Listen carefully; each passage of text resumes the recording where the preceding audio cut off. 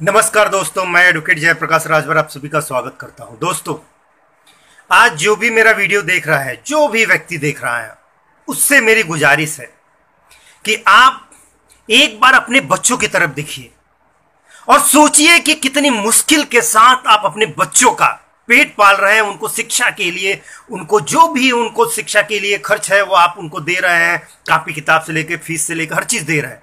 और सोचिए, जब आपका बच्चा बड़ा होगा तो वो अपने बच्चों को कैसे करेगा इतनी महँगाई के जमाने में? कैसे करेगा? सोचिए। आज इतनी महँगाई है और हमारे समाज में इतनी गरीबी है, नब्बे परसेंट लोग। ये मैं नहीं कहता, ये सरकार का रिपोर्ट है 2003 2007 का। और 90 परसेंट लोग, पंचानवे परसेंट लोग हमारे समाज में भूमिहीन है, गरीब है, बहुत ही गरीब है। उनके पास ये ताकत नहीं है कि अपने बच्चों को पढ़ा सके। चाहे वो कुछ कर ले।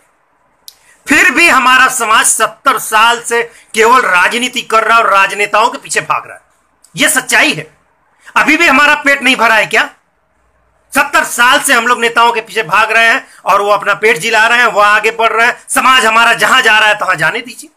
कोई पूछने वाला नहीं है, कोई जानने वाला नहीं है। कोई वह नेता आया तो उसके पीछे भाग रहे, कोई वह नेता है उसके पीछे भाग रहे, कोई वह पार्टी है उसके पीछे भाग रहे। भाई साहब, कोई पार्टी कोई पार्टी जो आप और पार्टियों के पीछे भाग रहे हो, पाल समाज भी अपनी पार्टी बनाया है, कोई निषाद समाज भी पार्टी बनाया, आरक्षण नहीं दिला पाया है।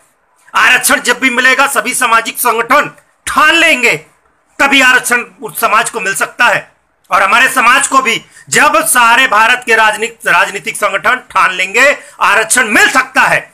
लेकिन दिक्कत यही होती है कि हमारे समाज में कुछ चापुलूस टाइप के लोग हैं, जो केवल जलनवश जब कोई अच्छी मुहिम शुरू होती है, जब कोई अच्छा मुहिम शुरू किया जाता है तो चापलूस लोग जलन के मारे उसको गिराने के लिए, उसको तोड़ने के लिए, उसका विखंडन करने के लिए हमेशा आगे आते हैं। राजभर समाज का दशा आप लोगों से छुपा नहीं है। नब्बे परसेंट लोग गरीब है। नब्बे परसेंट लोग। इसके अलावा उन्नीस के सर्वे में जब एस टी एक सूची था, उसमें हम लोग थे और गलत तरीके से निकाला गया। तो दिक्कत क्या है भाई? हम लोग को मिला हुआ चीज़ तो हम लोग मांग रहे हैं। नया चीज़ निषाद समाज की तरह, प्रजापति समाज की तरह, अन्य जो है समाज की तरह हम लोग कोई नया आरक्षण तो मांग नहीं रहे। जो हमको मिला हुआ था वही आरक्षण मांग रहे हैं। तो इसमें दिक्कत क्या है? लेकिन हमारे समाज में दिक्कत यह है कि लोग खंडों में बटे हुए हैं। कोई कहता है वह विधायक, कोई कहता है वह मंत्री। अरे भाई साहब, अभी भी आपका राजनीति से पेट नहीं भरा है। कब तक राजनीति चलेगा? और हमारे समाज के सबसे बड़े दुश्मन वही लोग हैं। जो नेताओं के पीछे भागते हैं, जो पार्टियों के पीछे भागते हैं, अपने समाज के साथ नहीं रहते। जिनको लगता है जो भक्ति करते हैं, चापलूसी करते हैं, जो गुलामी करते हैं, ऐसे गुलाम लोग, ऐसे भक्त लोग से मुझे सख्त नफरत है, जो अपने समाज की भक्ति नहीं करते हैं, बल्कि किसी व्यक्ति व्यक्ति विशेष की भक्ति करते हैं। और यही हमारे समाज का जो है तकदीर है कि हमारे समाज में ऐसे लोग जो है आगे जाकर केवल चापलूसी करते हैं और कुछ नहीं करते दोस्तों।